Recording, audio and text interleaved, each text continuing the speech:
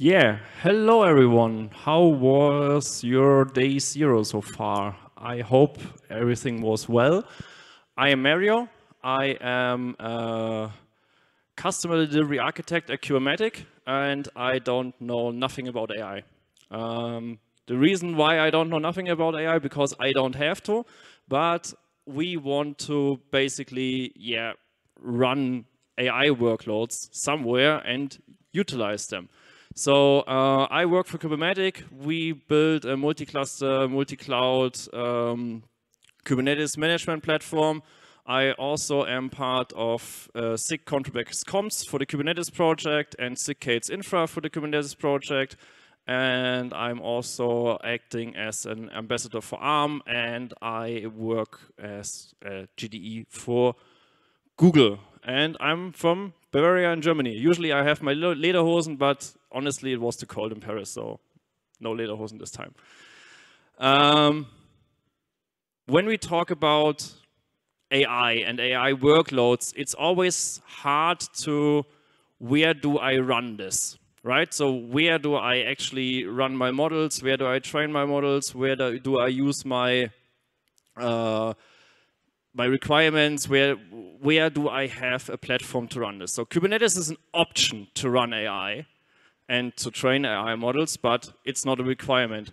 However, it's a pretty well fit. Why is Kubernetes a pretty well fit? We have, who of you is using Kubernetes in production? That's good. So what are the benefits of Kubernetes? It has self-healing aspects, it's scalable, you can run it everywhere, you can literally run it everywhere. I can run it potentially on my phone now, which is quite nice probably most of the people won't do this. So we have a multitude of options. And I bet all of you have problems running Kubernetes clusters. Or is everyone running Kubernetes smoothly without any issues and everything is fine all the time? If yes, please show your hand. Oh, one! That's nice. One person has uh, no problems. So running AI workloads in Kubernetes has the benefit that we have the scalability, we can stretch it out, we can basically distribute everything. But we can also utilize AI to yeah, slim our, our process and or to, to fix clusters. And for this, there's an open source tool and it's a cloud native sandbox project since last year, which is called K8s GPT. Who has used K8s GPT? That's not so many people. So K8s GPT is, as I said, an open source project, and uh, it's help you triaging Kubernetes issues with the help of AI. You can implement it with 10 different interfaces. It's, you can use ChatGPT, you, you can use uh, Gemini, you can use Vertex AI, you can use uh, AWS, you can use all of the different vendors. Um, it also has an in-cluster operator for consistent monitoring. So you can basically run it in your shell or you just run it in every cluster and get logs of it sent to all of the, all of the different environments. The problem is, I'm from Germany. We don't trust providers. We don't trust anyone. We don't trust our own mother, probably.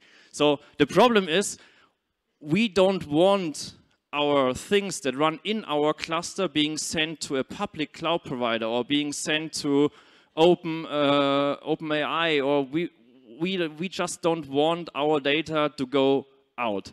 So we create a magic triangle inside of our environment, which means that we basically take what we want and run it inside of our own clusters. This means we utilize three different things there. We utilize our own knowledge that we have about Kubernetes because everyone has a, has a Slack chat with, hey, how do I debug this? How do I debug this issue? Um, and there's also the, the potential that we can use like, hey, let's scrape Kubernetes questions from Stack Overflow and see what are the yeah what are what are the common the common questions that we have and then we use local AI which is also an open source project. And I, I think you're now following me where I want to go with there. So you don't have we don't have to pay for the yeah, for paid services for AI because we can basically do this on our own in our own environment and own it. And that's the, the most important part. And we can utilize a tool called Kubeflow. Who has used Kubeflow before? One person, two, uh, quite some persons. So we can utilize Kubeflow as an environment where we want to run this. So Kubeflow is an ML, toolkit. It is there for data preparation. You can do train your models. You can fine tune your models. You can uh, have a serving where you can run your model, and you can also have a service. Uh, you have also the service management option um, to run this stuff. The problem with this is we will only use a really, really small part of it because we will mostly only use for this setup Kubeflow pipelines. Why, you would ask? K8s GPT doesn't support Kserve mo uh, momentarily to basically serve this. The good thing is Kubeflow can basically run everywhere. So you can run it on your laptop, you can run it in your home lab, you can run it in a public cloud, you can, there are um, providers to run it in the, uh, on the big public cloud providers, and uh, it's a toolset that you can just install out of the box. What is local AI? Local AI is also an open source project that basically do provide you with a REST API for that is compatible with Open API specifications. So we can use local AI to run our LLM models inside of our clusters because local AI also has a Helm chart, so we can use it in our clusters. We can deploy it via a Helm chart. Then we have the benefits of running it inside of Kubernetes, so load distribution, run multiple models at once. Uh, we can use it to generate, uh, to generate images, we can use it to generate audio, and the best thing is it doesn't require a GPU. So we don't have to have a GPU to run our models inside of our cluster, so we can utilize our normal clusters there how does this look in the end? Um, when I said we are taking our own fine-tuned model and put it into our own clusters to basically feed into K8s GPT. When we, so what we still need to do, and this is the hard part, and because this is only a lightning talk, we can't get into too much detail there. We first need to prepare a data set. So you still go the, the normal workflow of what would you do to fine tune your own model? And alone this part is hilariously hard.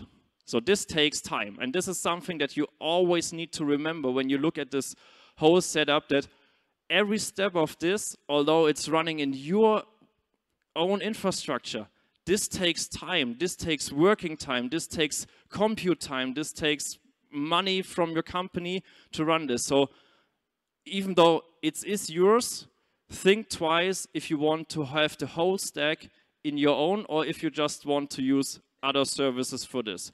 But if you want to be secure and if you have requirements and there are certain fields in the industry that have requirements like we cannot have any of our data get outside of our environment, then you need to go to the painful process and basically do everything yourself.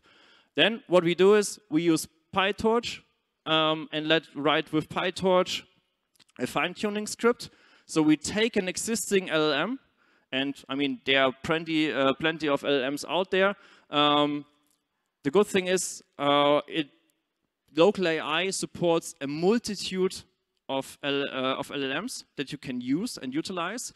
And there's also Gemma that basically, so you can use Gemma from Google, you can use OpenLlama from, from Meta, and so on and so on. And then we have basically our PyTorch job that takes the fine-tuning process. Uh, so you put everything into a Docker container, load the data set with the script, and then you basically run it inside of a pipeline of Kubeflow, and then put it out as a GGUF file, and then you give it to local AI, and then the, the easiest thing is this is just a connector. So this is just a connector that asks like, hey, K8s GPT, please take as an endpoint for the questions that you run inside of your cluster, please just take uh, local AI and all of the questions go there. And then you can say like, uh, K8s GPT, analyze, explain. And it will analyze your whole cluster with your own local running um, model. But as I said, this is the beginning. This means this is not the, the end where we are. There is a lot of hassle. The main problem that we currently have is Kubeflow is horrible to set up. And I mean really horrible. We are waiting for a solution that is like, hey, I want to have like a Helm chart and it runs in my cluster and everything is fine. This is not the case. There are some vendors that basically package Kubeflow. Uh, I know that Canonical have like a easy out-of-the-box solution. The big cloud providers have an out-of-the-box solution. But if you run it on-prem on your own data set, uh, it's not fun. um, you need, still need to write the PyTorch fine-tuning scripts. There's no plug and play. Um, and also, data preparation takes time. Um, so this is all the things that still hold us back. You need to constantly fine-tune.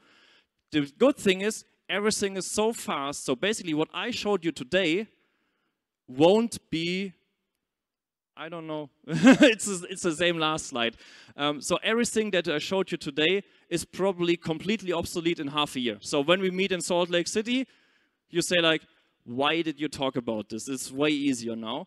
Um, but I think tuning, no matter where you run it, tuning your set with your own data is the next logical step to utilize AI because models are fine, but what we want is we want our own fine-tuned models with our data because there we have the knowledge that we can multiply.